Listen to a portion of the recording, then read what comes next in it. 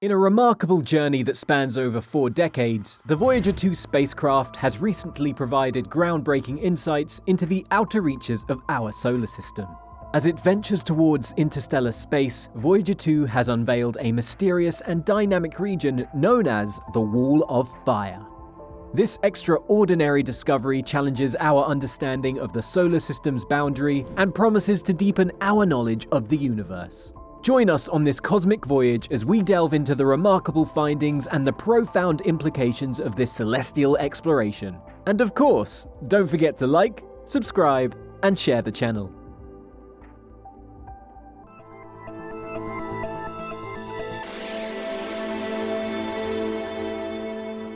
When it comes to the Voyager probes, I do find myself uncertain about which one we're discussing here, Voyager 1 or Voyager 2.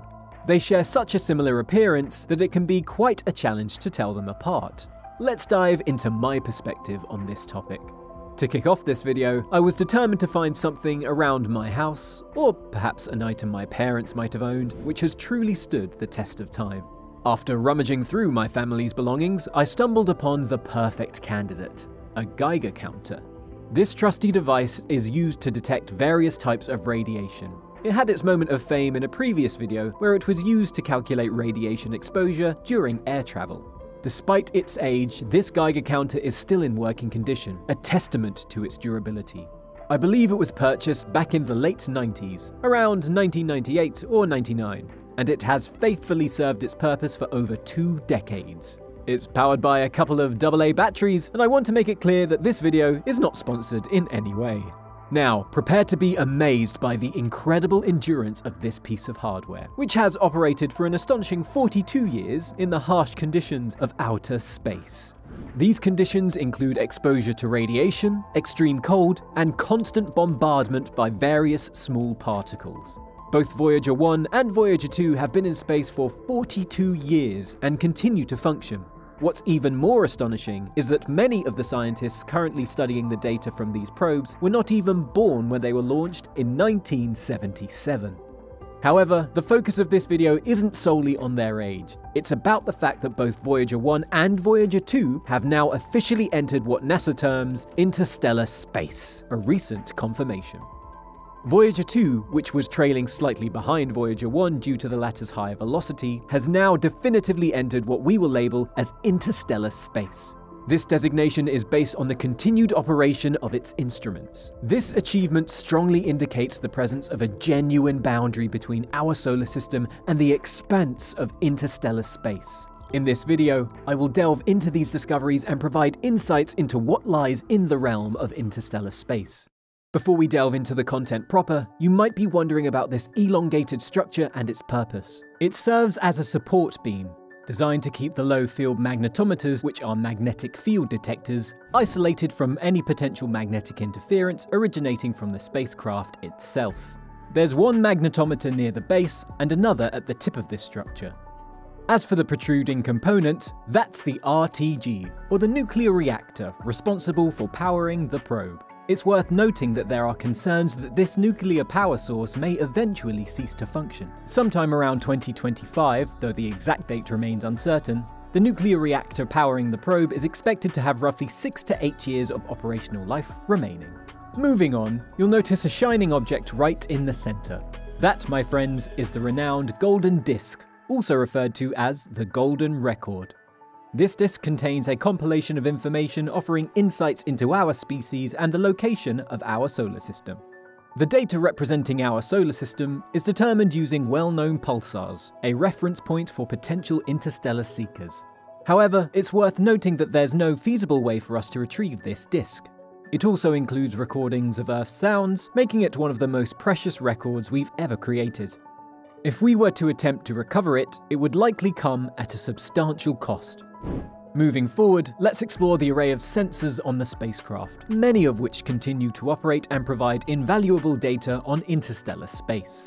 So, what exactly have we confirmed this time? Firstly, we validated the existence of what's referred to as the heliopause. This boundary marks the end of our solar system and the commencement of interstellar space. It's primarily defined by the Sun's magnetic field and its interaction with the interstellar magnetic field. generated by high energy events like supernovae. An intriguing discovery is the alignment of both the solar magnetic field and the interstellar magnetic field. Surprisingly, their magnetic north and south poles appear to be in sync. In a graph provided in one of the referenced papers, which you'll find in the description below, it's evident that the strength of the magnetic field increased as the spacecraft transitioned from the solar system to the so-called interstellar space. This increase began around a certain point and experienced a significant jump upon entering the very local interstellar medium, that's VLISM. While the magnetic field strength is far less intense than what we experience on Earth, it's noteworthy in the context of outer space. The stark differences observed in the measurements of the magnetic field and other parameters between Voyager 1 and Voyager 2 imply that the heliosphere is not a uniform structure, but rather fragmented into varying regions with different strengths. One explanation for this variation is its connection to solar cycles, which last approximately 11 years. These cycles correspond to the Sun's activity levels, including changes in its magnetic field. Imagine it as the Sun breathing, expanding during active phases and contracting during less active ones. This cyclical nature could influence the shape and size of the heliosphere, accounting for the differences detected when both Voyager probes crossed its boundaries. Additionally, a notable discovery relates to the increase in cosmic radiation upon crossing the heliosphere's boundary. This finding underscores the importance of the heliosphere in shielding our solar system from a significant portion of galactic cosmic rays, which would otherwise impact our planet and the solar system as a whole. Regarding the plasma density, as both probes ventured into interstellar space, they encountered a sudden transition marked by a substantial increase in plasma density and temperature, the temperature notably reached between 30,000 to 50,000 degrees Kelvin, a surprising finding for the scientists. While the density and temperature changes were expected to some degree, the extent of the increase in density and the incredibly high temperatures were unexpected surprises. Collectively, these findings from Voyager 2 strongly suggest the presence of a tangible, physical barrier, a wall of hot plasma and various types of radiation that manifests as we cross into interstellar space. This region also holds significance as a potential location for discovering objects like Eris, Sedna, and even Planet 9, although it's still far from the Oort cloud where comets originate. Unfortunately, this marks one of the final updates we'll receive from the Voyager probes, as they struggle to maintain communication with Earth due to immense distances. They have served as pioneers in the exploration of our solar system, but soon their mission will conclude and they will become silent remnants of early solar system exploration. The hope that someone may one day discover the golden disk and its contents remains. But that possibility lies in the distant future, as it will take millions of years for the probes to approach nearby stars. In 2038, the New Horizons probe, famous for its Pluto exploration, will also enter interstellar space and provide new insights. However, for Voyager 1 and Voyager 2, it's probable that we may not receive further updates unless communication is eventually re-established. Their impressive longevity in the harshest of conditions speaks to the remarkable achievements of human engineering and ingenuity, a testament to our ability to create enduring instruments for scientific discovery. I'd like to take a moment to explain our recent discoveries and the fact that both Voyager probes have now entered interstellar space. I hope you found this video informative and enjoyable. On a different note, I'd like to mention that I've created a special design as the first ever Wonderful Person merchandise, because all of you are indeed wonderful people, and it's essential to remind yourself of that from time to time. You can subscribe if you haven't already, and share this video with anyone who loves learning about space and science. In the exploration of the solar system's outer fringes, Voyager 2 has unveiled the enigmatic Wall of Fire. This dynamic region challenges our understanding of the solar system's boundary. The insights brought by this mission serve as a testament to human ingenuity and the never-ending quest for knowledge.